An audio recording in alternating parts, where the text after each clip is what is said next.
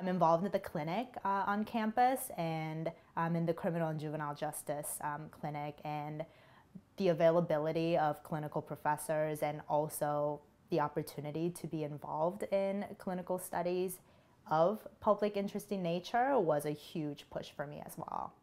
I love working at the clinic. So uh, actually, I started uh, after my 1L year. So I've been working there since the summer and I'm continuing um, on and I'm hoping to stay until I graduate um, for the next um, year and a half. Um, and it's been a really great experience to kind of see how what we're learning in the classroom translates into the real world. Um, and that's an opportunity that you can't really get inside the classroom because you're learning black letter law and you can think about what's happening in other courts around the world, but you don't actually get to interact with clients so when you're in the classroom. And um, to have the opportunity as a first year law student um,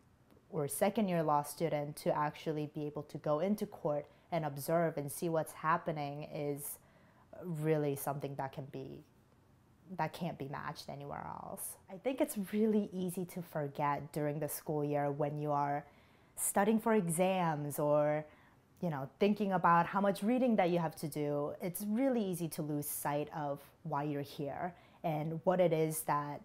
motivated you to come to law school in the first place and being involved in the clinic reminds me every day this is why I came to law school and this is what I want to do with my life.